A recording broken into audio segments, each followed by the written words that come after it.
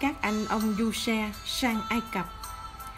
Jacob sai các con ông, trừ đứa út là Benjamin, sang Ai Cập mua lương thực.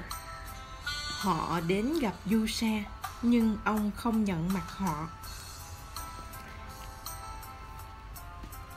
Khi ông Jacob nghe tin bên Ai Cập có nhiều lương thực, ông bảo các con các con hãy sang Ai Cập mua đủ lương thực cho gia đình. Nếu không, chúng ta sẽ chết đói. Nhưng ông không muốn cho Benjamin là em của Giuse đi theo. Sợ nó gặp nguy. Vì Giuse là tể tướng Ai Cập và cai quản kho lương thực, nên các anh em đến gặp ông. Khi đến họ sắp mặt xuống đất sụp lại ông. Giuse nhận ra ngay các anh mình, nhưng giả vờ không biết họ.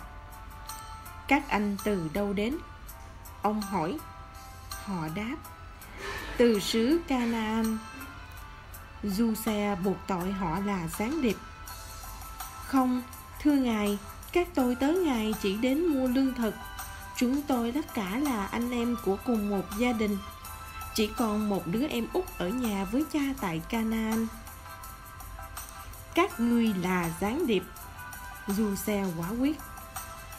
Ta lấy mạng sống pharaoh mà thề rằng các ngươi sẽ không bao giờ ra khỏi ai cập nếu em út các ngươi không đến đây. Một người các ngươi phải về đem nó sang đây. Ta sẽ giam những tên còn lại trong tù, rồi chúng ta sẽ biết các ngươi có nói thật hay không thế là ông Yusa bắt giam tất cả các anh trong ba ngày. Đến ngày thứ ba Yusa nói với họ, ta là một người kính sợ thiên chúa. Hãy làm theo lời ta và các ngươi sẽ sống. Một người các ngươi phải ở lại trong tù. Những người khác có thể mang thóc lúa về nhà.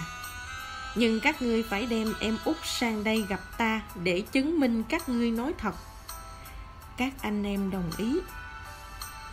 Các anh em nói với nhau, chúng ta hôm nay bị trừng phạt vì những điều chúng ta đã làm cho du xe trước đây. Chúng ta đã thấy nó này nỉ xin tha mạng sống mà chúng ta đã không nghe. Đó là lý do chúng ta gặp rắc rối bây giờ. Ruben nói, anh đã chẳng bảo các em không làm hại thằng bé sao? Thế mà các em không nghe bây giờ chúng ta phải đền nợ máu nó. Họ không biết rằng chu xe hiểu hết những gì họ đang nói với nhau vì ông có thông ngôn. Du xe quay mặt lánh đi và khóc.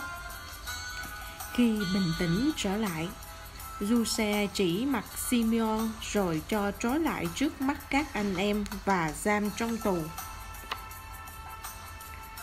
sau đó du xe truyền cho các người hầu đổ đầy lương thực vào các bao của họ. Ông cũng cho họ lương thực đi đường. Ông cũng ngầm ra lệnh trả lại tiền cho mỗi anh em trong bao của họ. Các anh em lên đường về lại Canaan.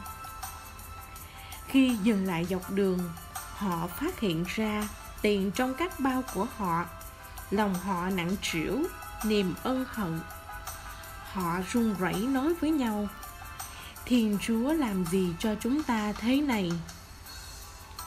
Về đến nhà Họ kể lại cho ông Jacob mọi chuyện đã xảy ra.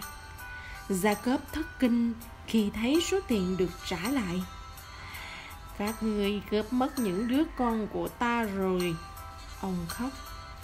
Ta đã mất Giuse, mất Simeon, bây giờ mất Benjamin mọi sự đều chống lại ta.